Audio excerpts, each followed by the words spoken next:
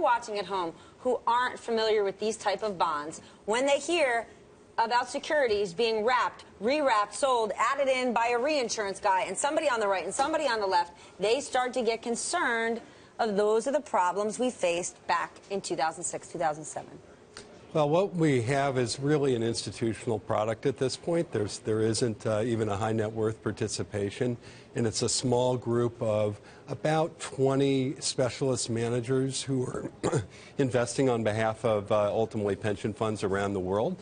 So they have uh, most of the principals of those organizations are split between people with a reinsurance underwriting and cat modeling background as well as people with a sort of a fixed income background. Legally, those who can participate in cat bonds, do they have to have those criteria?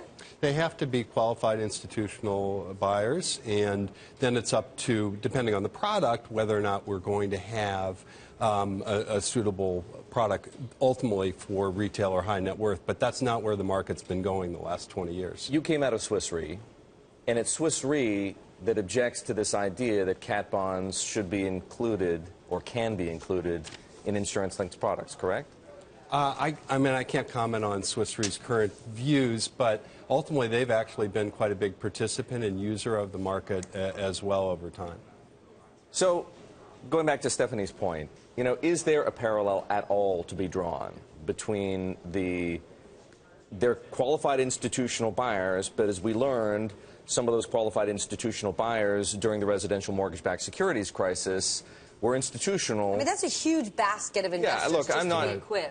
Yep. Is there any parallel to be drawn there? Well, look, there, we should always be cautious as things evolve and as the, as the market changes. But right now we have um, complex problems that corporates and insurers are facing that are dealt with with relatively complicated structures in the traditional reinsurance market. However, in the ILS market, including cat bonds, the structures are actually focused on individual perils such as hurricanes mm -hmm. or earthquakes, and they are simpler at this time. If a, if a retail investor is sophisticated enough to want uncorrelated risk, should he or she have access to this market?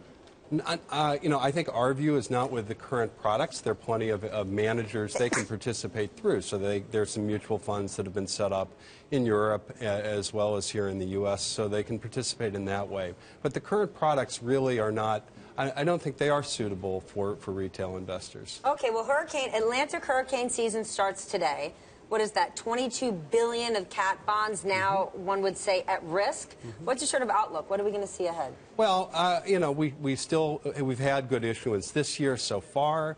Um, the investors tend to look at those forecasts with a little bit of a grain of salt and so while there's some modest adjustment of positions there's no so, sort of wholesale movement towards taking more risk. And in fact we've seen spreads especially for the hurricane related deals, which is about uh, 70% of the market, that they've been plateauing the last six months. So uh, I think we'll see more of that.